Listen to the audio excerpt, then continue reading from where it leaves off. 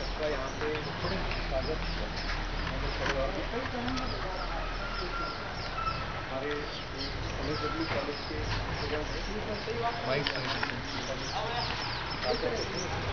हमारे कार्यकर्ता गण हैं आज गोयब से हमारे यहाँ पे हमारी त्रैमासिक बैठक है इसके लिए आए हैं हमारा एरिया लातूर बीर उस्मानाबाद तीन डिस्ट्रिक्ट में से हम Wait. काम करते हैं और ये कार्यकर्ता सब एरिया में काम करने वाले हैं हमारे कॉलेज के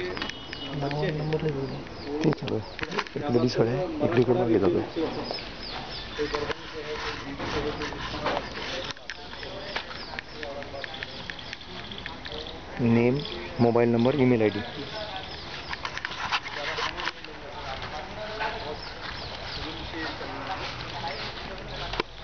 बाबूजी की जो अभी पहचान हो गई है अ, हमारे यहाँ पे कुछ प्रिंसिपल भी है हमारे कुछ संस्था के एग्जीक्यूटिव भी हैं सर मैं सुभाष जी से निवेदन करता हूँ कि आप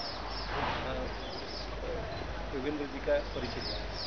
वो उनका परिचय वो जब बात करेंगे तब आप, आप सब लोगों को हो जाएगा। मैं सिर्फ़ यह जो दो अक्टूबर से पंद्रह अक्टूबर तक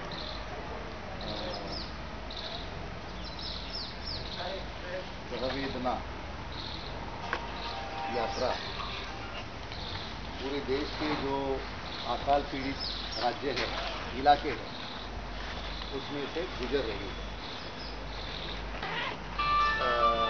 ये यात्रा निकालने का मुख्य उद्देश्य